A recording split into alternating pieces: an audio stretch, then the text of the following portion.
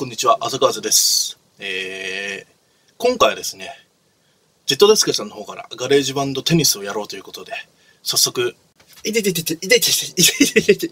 さて、えー、こちらのファイルが、えー、ジェットダイスケさんから送られてきたガレージバンドのファイルなんですけど、まあ一つここで、いきなりトラブルが発生しておりまして、えー、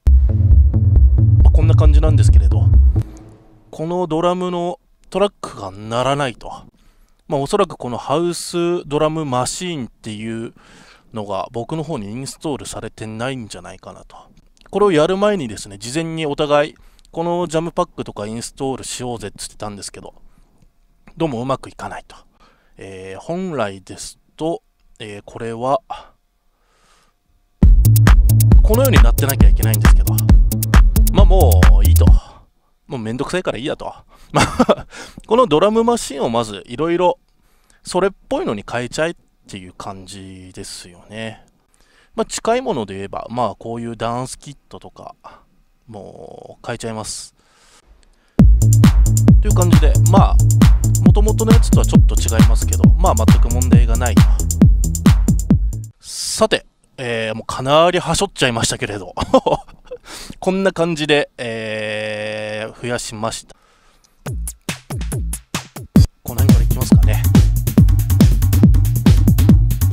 あ、そうそう、あの、言い忘れましたけど、テンポをね、140に変えてます。もともとが135なんですけど、ちょっと遅いかなと思ったので、変えちゃいました。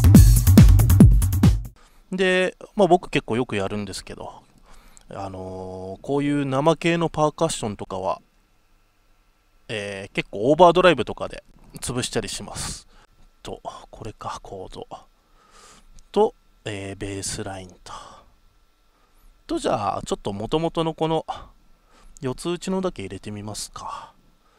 えー、これと。だと、